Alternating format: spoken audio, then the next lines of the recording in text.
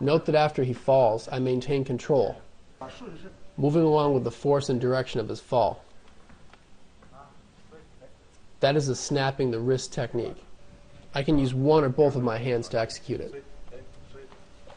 So note the change in my hand position once he goes down.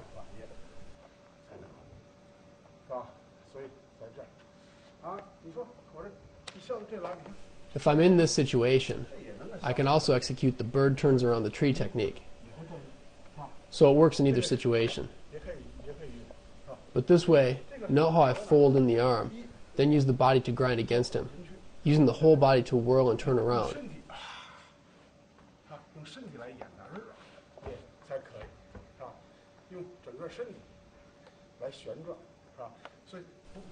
If all that still isn't enough, that's when you add in the stepping around. So it's like the opponent is a tree and you are turning around that tree. So you should have a fast, fluid motion as you turn around. Make good use of the whirling around to carry out the technique.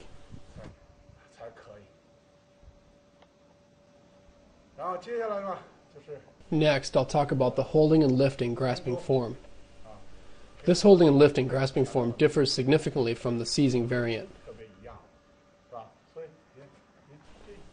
Here, this is a lifting technique.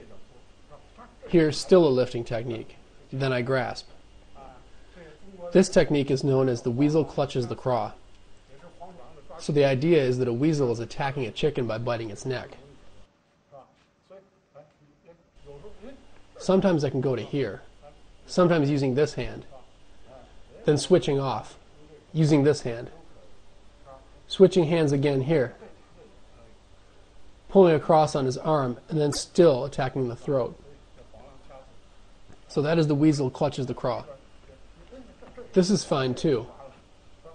Pay attention to how to grasp the throat properly. A 1-2 motion to cause pain in the neck.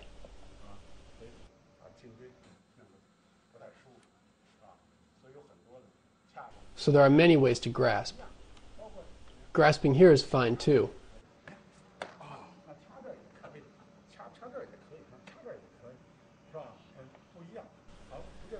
It is not that you have to grasp the throat.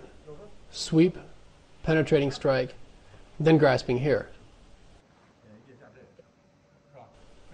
Or grasping this location. Pay attention to controlling his arm here. So the form shows this one grasping technique, but there are many places you can attack with it. Grasping here on the arm is fine too. Here is another variation.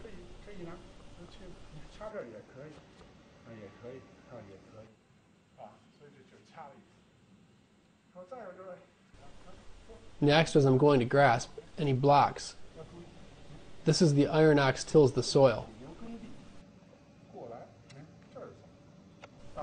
There are many ways to carry this attack out. Bringing his arm up in this way. Many ways to execute it. One coming to here, pressing down on the other arm. Turn the hand over, snap the wrist. The second going to here and immediately push breaking the wrist.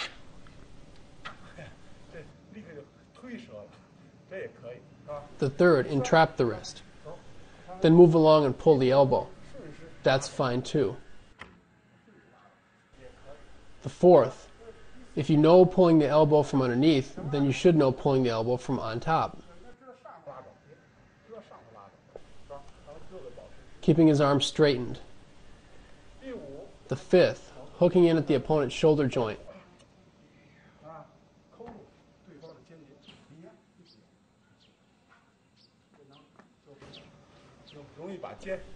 This can be used to dislocate the shoulder.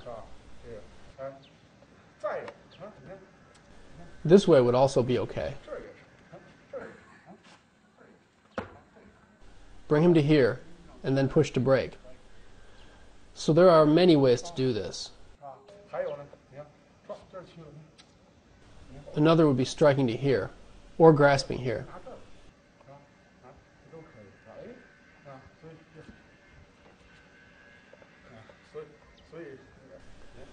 Pay attention the hand point strikes here. Then you make use of your forearm to press inward.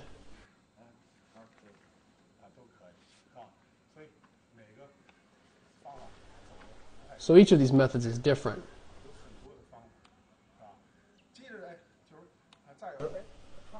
Next, strike to here, then a binding, holding, and grasping, bringing him upward.